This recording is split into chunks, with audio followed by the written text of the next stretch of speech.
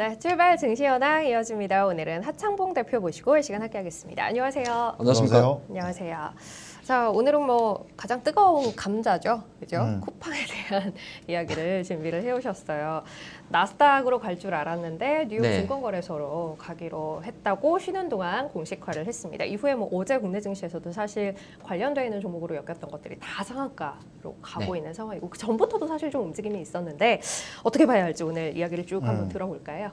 우리가 그 설날 명절 동안 쉬는 동안에 가장 핫한 두 개 이슈였습니다. 하나가 이제 쿠팡 상장, 네. 하나가 이제 SK 이노베이션과 음, LG 화학의 그렇죠. 배터리 소송전, 뭐 SK 이노베이션 패스였는데 가장 핫한 쿠팡. 어제 이제 월요일 증시에서 쿠팡 관련주들이 대부분 뭐 상한가도 네. 가고 카카오가 50만 원 넘어가고 네이버 주가 같은 경우도 38만 원까지 많이 갔지 않습니까? 이게 단순히 쿠팡 관련주로 대변된 뭐 일부 개별주의 상한가만 중요한 게 아니고 상당히 음. 의미가 좀 있습니다. 물론 이제 앞으로 일정 쭉 지켜봐야겠습니다만은 한번 곱씹어 볼 필요가 있어서 다시 또 하루가 조금 지났지만은 네. 좀 지켜보도록 하겠습니다. 투자 아이디어라고 지어봤는데 이제 어제 2월 10일 날 미국 청권 거래소에 상장 신고서를 제출을 했습니다. 음. 그래서 우리나라는 기업 그 코드가 숫자 6자리를 씁니다만은 미국은 영어 이니셜 알파벳을 사용을 네. 하죠. 그래서 이제 지금 제출한 ticker는 미국 기업들은 보통 ticker라는 표현을 하는데 쿠팡이 아마 이니셜 같습니다. CPNG라는 단어를 이제 제출했다고 하고요. 일단은 쿠팡이 두 개의 사- 두 수종의 주식 중에 두 종의 주식이 있는데 상장하는 거는 class A입니다. class A인데 거의 뭐 시점은 대략 3월 중으로 추정을 하고 있습니다. 정확히 날짜는 안 나온 것 네. 같아요. 며칠이라고 하지만 공모 가격도 안 나오는데 이제 시장에서 뭐 20조에서 50조까지 지금 다양하게 좀 펼쳐져 있는 것 같습니다. 이건 좀 지켜봐야 될 것 같고 이제 김- 조금 달랐던 것은 그런 이야기죠. 물론 이제 해석은 다양합니다. 쿠팡이 상장을 미국 나스닥이 아니에요. 오히려 뉴욕 거래소입니다. 네. 그럼 우리가 그냥 가만히 생각할 때 나스닥 같은 경우는 뭐 예를 들어서 그런 게 있지 않습니까? 우리나라 코스닥처럼 음.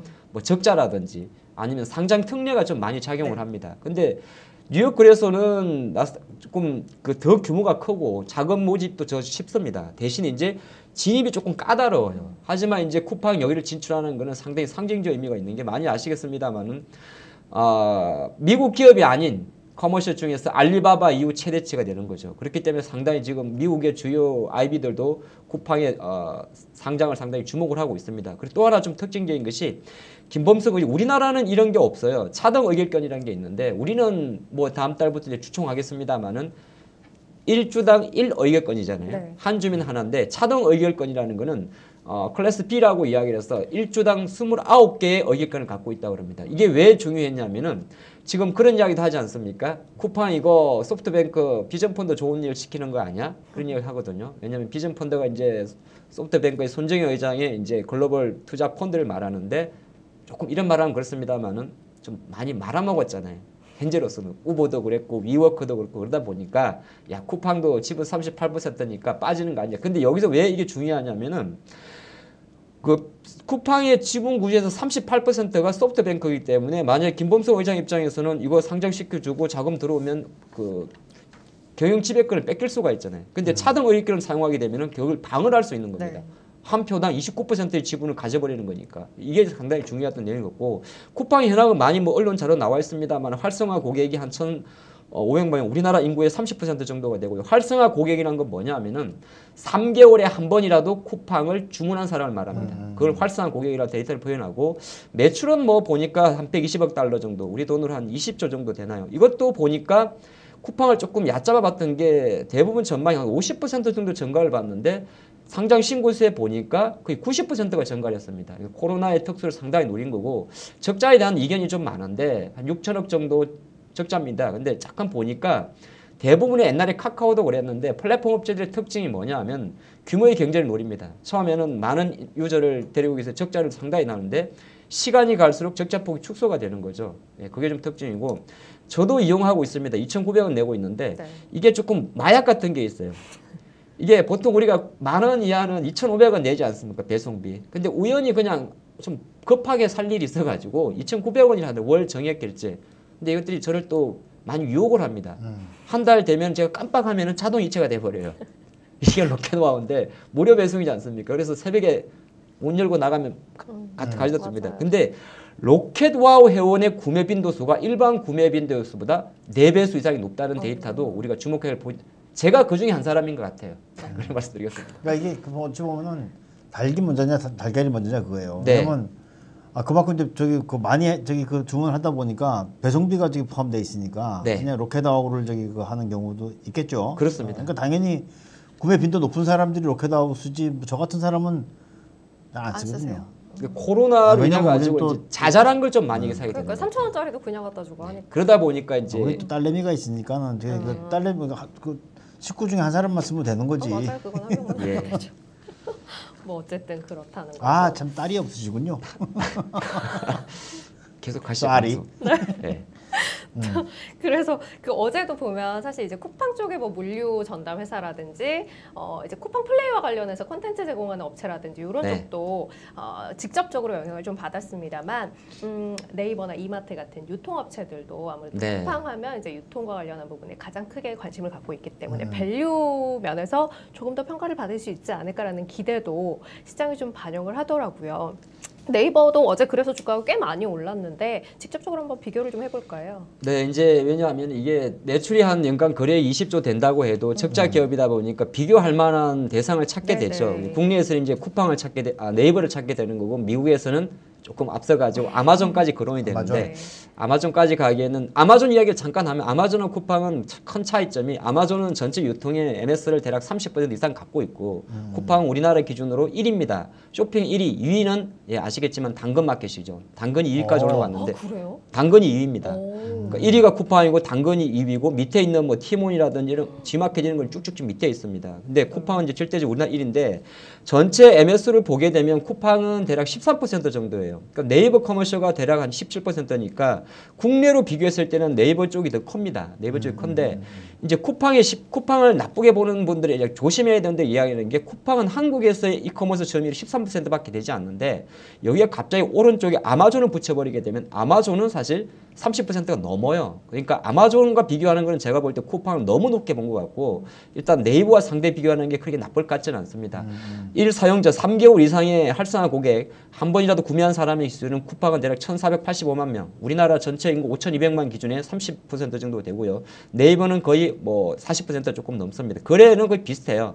네이버가 대략 27조 원, 그리고 이제 쿠팡 21조 원 정도를 하고 판매자 수도 사실 네이버 이제 이거는 오픈 마켓으로 들어와 있는 그 seller를 말하는 것 같은데 판매자 수도 네이버가 조금 더 많긴 많습니다. 41만 개, 그리고 이제 쿠팡 20만 개, 그리고 이제 물류 역량의 수도 보면 네이버는 확실히 CJ가 딱 파트너십을 맺었습니다. 네. CJ 대한통운과 그리고 쿠팡도 거의 같은 이야기인데 뭐 30개 도시 이상 100개 이상 물류 창고인데 현재 이 자료만 놓고 봤을 때는 뭐 쿠팡이 네이버에 뭐 그렇게 많이 뒤처질 건 아니다. 약간 비교 데이터 면에서는 뭐 네이버 시가총액이 지금 대략 한 50조 조금 안 되나요? 3조 훨씬 넘죠. 그래서 쿠팡의 가치를 20에서 50조라고 wide하게 펼치던 데는 일단 네이버와 비교했을 때는 큰 차이는 없다. 저는 그래 보겠습니다. 아니 뭐 네이버도 사실 그 이커머스만 있는 게 아니고 다른 것도 있으니까 이커머스 부분만 딱 떼놓고 보면은 오히려 쿠팡이 좀 과대평가됐을 수도 있겠다는 생각이 들기도 하네요. 이건 지금 자료는 이제 네이버의 어, 이커머스 부분을 조금 강조한 게 있습니다. 음, 음, 음. 혹시 여기 그 저 네이버 그 뭐라고 같이 써보셨어요? 네, 저는 같이 다 해보겠습니다. 네. 제가 원래 이렇게 조금 쇼핑을 하던 사람이 아닌데 음. 코로나 때문에 본의 아니게 예, 유, 유료 회원이 됐습니다. 그러니까 저도 이제 네이버 뭐라고 해보면은 오히려 쿠팡 쪽이나 G마켓보다 네이버 몰 쪽이 싼 게 더 많아요. 네, 같은 맞습니다. 물건인데. 예. 그리고 배송도 뭐 나쁘지도 않고. 어. 하지만 이제 손은 쿠팡으로 많이 간다는 거. 네. 그렇더군요. 예. 근데 최근에 이제 어, 쿠팡이 상장한다고 하니까 이제 덩달아 오르는 것들이 있잖아요. 뭐 네. 예를 들면 동방이라든지 KCTC라든지 아, 그런 쪽은 어떻게 봐야 되는 거예요? 그 덩달아 올라갈 만한 이유가 있는 거예요? 어떻습니까? 예, 뭐 특징주도 많이 올랐는데 그 전에 쿠팡 이야기를 조금 더 추가적으로 한번 해보겠습니다. 이제 왜냐하면 적자 축소가 가장 중요하니까. 네. 그래서 이제 쿠팡이 물동량 같은 경우는 이제 상당히 증가를 하고 있습니다. 2020년 기준으로 보면은 뭐 거의 뭐 100만 개, 1000만 개까지 육박을 하고 있는데 제일 중요한 게 뭐냐면 쿠팡이 배송도 하죠. 근데 이게 규모의 경제 효과인데 실제로 배송 관련 비용 추정치는 계속 내려오고 있습니다. 그러니까 배송비가 계속 내려간다는 거죠. 이제 이거는 어떤 관점이냐면 우리 소비자 입장에서 이제 예전에는 택배 하나를 할 때 배송료가 조금씩 내려 배- 이게 그 택배 경쟁이 붙었기 때문이죠. 네. 그래서 현재 상태에서는 배송료가 내려가는 요 부분은 쿠팡 입장에서는 좋은 게 아닌데 오히려 거꾸로 실제적으로 배송 물동량 증가가 훨씬 더 빠르기 때문에 이 부분이 좀 커버할 수 있지 않을까. 여기에 첫 번째 포인트를 삼은 것 같고요. 네, 네. 두 번째는 바로 이겁니다. 아까 제가 로켓와우 이야기를 잠깐 드렸는데 신규 고객 우리 교수님처럼 가끔 매매를 주- 구매를 안 하시는 분들은 사실 쿠팡 입장에서는 크게 도움은 안 됩니다. 예, 신규 고객은 실질적으로 많이 늘지 않아요. 비밀 건데. 근데 중요한 거는 음. 이 재구매를 많이 하는 로켓와우 같은 구매 빈도수입니다. 기존 고객들의 이 구매 수가 줄지를 않아요. 그 결정적으로 뭐냐 하면은 플랫폼 업자니까 신규가 많이 들어오는 거 되게 중요합니다. 1,480만 명도 중요 중요한데 일단은 기존 고객들의 재구매율이 상당히 높아지는 것 자체도 쿠팡이 향후에 어, 규모의 경쟁을 노리면서 어느 정도 적자 폭을 축소시킬 수 있는 요인이 되지 않나 그리 볼 수 있고 이게 또 하나 보면은 여기 자료인데 활성 고객달 지출 금액 이게 뭐냐면은 아까 말했던 한 달에 한 번이라도 쓰는 사람. 그러니까 예, 한 번 하는 사람들의 지출 금액이 증가합니다. 네. 음. 예, 실제적으로 2000 보면 US 달러 기준으로 좀 표시를 한 것 같은데 뭐 US 달러 기준으로 보면 2년 전에는 다 12, 120달러 그러니까 15만 원 전후 쓰다가 올해 2000 물론 코로나가 있습니다. 한 250불 이상 쓴다는 건 한 달에 30만 원 이상 지름신이 오신다는 거고 그런데 여기에 지출 금액도 중요한데요. 사실은 활성 고객 수가 증가한다는 겁니다. 그러니까 이게 로켓와우를 이용을 해서 실제적으로 어, 내가 정액적으로 싸지 않습니까? 2,900원 그걸 해서 저- 증가시키기 때문에 활성 고객 수의 증가는 상당히 좀 의미 있는 쿠팡의 길을 가고 있다. 좀 그렇게 분석을 할 수 있겠습니다. 그래서 저도 지난번 우리 담당자 왔을 때 물어본 게 아니 적자가 저렇게 하더- 하더라도 적자 규모가 너무 커서 네. 가능했니 했더니 저게 이제, 이제 흑자로 그 도- 돌아선다고 어, 네. 얘기를 하더라고요. 어, 그리고 이번에 나스닥으로 가지 않고 어, 저기 그 뉴욕 거래소로 가는 거는 흑자에 대한 자신감을 저기 그 표명하기 위한 하나의 방법이다. 아시겠지만은 나스닥은 특례 조건이 많아가지고 네. 상장. 유지 조건은 좀 그런데 거래 중 미국 거래소는 뭐 예를 들어 제가. 정확히 좀 모르겠습니다만은 뭐 적자가 누적된다든지 음. 그러면 또 가차 없는 걸로 알고 있습니다. 그렇죠. 유지 네, 요건도 네, 조금 더 네. 까다로운 걸로. 아무래도 뭐 이제 규모의 경제를 달성해 가고 있고 또 활성 고객들의 어, 평균 지출 금액 자체도 높아지고 있다 보니 흑자 전환에 대한 자신감이 좀 있는 게 아닌가 싶고 앞서 이제 이야기하려다 말았던 종목에 대한 이야기 바로 음. 또 이어가 볼까요?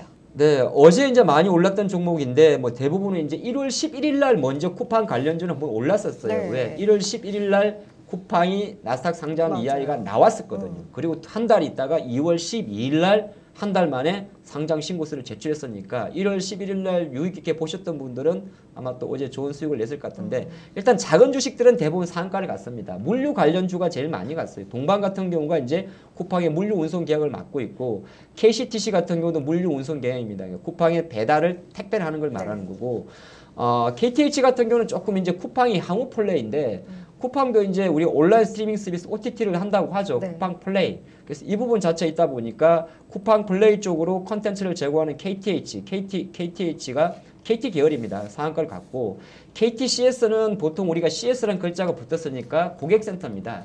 뭐114 이런 거죠. 근데 고객센터인데 얘 쿠팡의 고객센터를 같이 운영을 하고 있죠. 아까 오타가 있었는데 한 9% 이상 상승을 했고 영풍 재지는 사실 영풍 재지만 딱 쿠팡이 이건 약간 묻지마입니다. 어제 사실 용풍 재지 뭐 테림 포장 골판지 관련주들이 많이 상승을 했지 네. 않습니까? 근데 골판지 관련주는 제가 볼 때는 약간 오버페이스가 조금 있습니다. 뭐 쿠팡이 상장했다고 해서 갑자기 물량이 확정 가는 건 아니잖아요. 어차피 그렇죠. 물량 증가는 추세적인 거기 때문에 골, 특히나 제지주가 영풍제지가 유독 상한가를 간 거는 제가 분석한 바에 의하면 딱히 쿠팡이 땜 쿠팡이라기보다는 wide하게 골판지 쪽에 상승이 갔다 보는 거고 쿠팡 결제는 보통 다날 다날이 뜨게 되는데 얘는 PG사고요. 지급 결제 대행이고 근데 중요한 거는 여기 좀 개별주 말고 네이버라든지 이마트라든지 카카오 이런 종목들이 잘 가고 있다는 것도 주목해야 될 포인트가 될 것 같습니다. 자, 그러면 이제 쿠팡의 에, 그 뉴욕 거래소 상장 이걸로부터 우리가 얻을 수 있는 투자 아이디어는 뭐예요? 네, 뭐 제가 또 개장되고 나면 종목들 조금 네, 봐드리겠습니다. 포인트는 딱 그거 같아요. 잊혀졌던 이커머스 전자상거래 시장에 대해서 관심을 재부각시켰고 시장은 제2의 쿠팡을 마켓컬리를 이야기를 하고 있습니다. 마켓컬리는 또 우리가 새벽 배송 신선식품을 네. 제공하는 업체 아니지 않습니까? 그래서 가장 중요한 건 이커머스 사업에 대한 관심이 재부각된 것은 얘는 담은 카카오 네이버의 문제는 아니었고 어제 보면 어, 대- 대부분 인터넷 관련주들 쇼핑몰 관련주들 주가가 많이 오른 걸 알 수 있을 것 같습니다. 그래서 쿠팡이 만약에 좀 긍정적으로 3월에 미국에 상장을 하게 됐을 경우에는 아마 3월 전후까지도 이커머스 관련주들은 계속 우리가 관심을 가져야 될 큰 모티브가 되지 않나 그렇게 보겠습니다. 네, 선물 옵션 신규 휴면 고객이라면 수수료 최대 90% 할인, 최대 6개월 수수료 할인 받으세요. 투자 시 원금 초과 손실에 유의하세요.